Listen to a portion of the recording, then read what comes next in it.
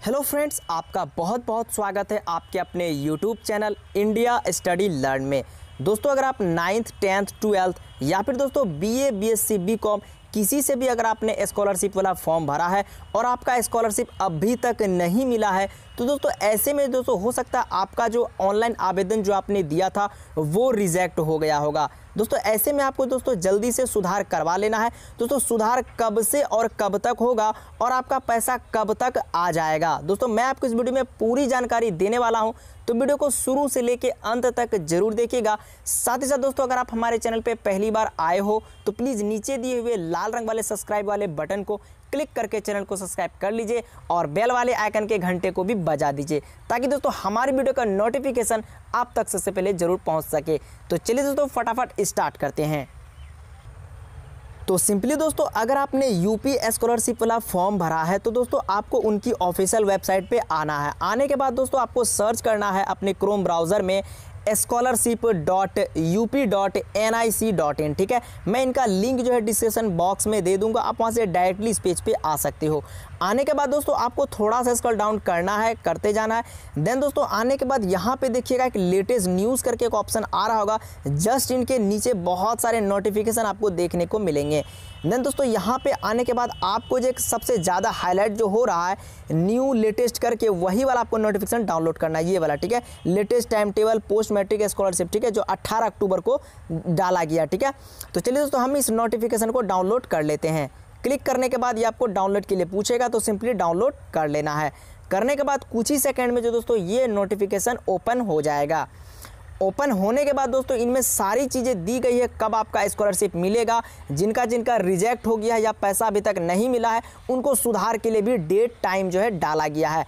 Then दोस्तों आपको जानने के लिए इस नोटिफिकेशन को डाउनलोड करने के बाद आपको स्कॉल डाउन करते जाना है। करने के बाद आपको तेरह नंबर वाले ऑप्शन पे आना है।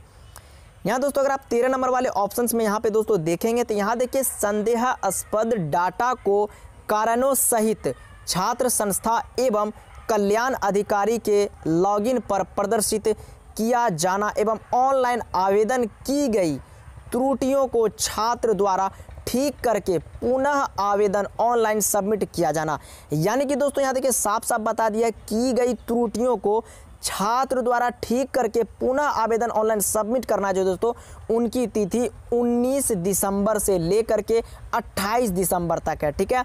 तो दोस्तों, अभी टाइम है आपको 19 दिसंबर से लेके 28 दिसंबर तक आपको जो है जिनका जिनका रिजेक्ट हुआ है, वो दोस्तों आपको सुधार करवा लेना है। दोस्तों, आप सबसे पहले अपना स्टेटस चेक कर लीजिएगा कि आपका सुधार यानी कि कुछ प्रॉब्लम तो नहीं, आपका सबमिट नहीं हुआ है तब आपको सुधार करवाना है। अगर आपको स्टेटस चेक करना नहीं आता, हमने पहले ही उनसे रिलेटेड एक वीडियो बना रखा है। स्टेटस चेक करने के लिए स्कॉलरशिप वो वाली वीडियो आप ज़रूर देख लीजिएगा, आपको समझ में आ जाएगा। देन दोस्तों, बात करते हैं आपको स्कॉलरशिप वाला पैसा कब मिलेगा। तो आपको इसी नोटिस में आना है और नीचे स्कल डाउन करना है। यहाँ पे दोस्तों, अगर आप देखेंगे 19 नंबर वाले ऑप्शंस में, यहाँ पे देखिए बता दिया है जनपद स्तरीय विभाग अधिकारी के डिजिटल सिग्नेचर से लॉक डाटा के आधार पर किशोगर के ई पेमेंट के तहत पीएफएमएस छात्र छात्राओं के बचत बैंक खातों में सीधे धनराशि अंतरित किया जाना।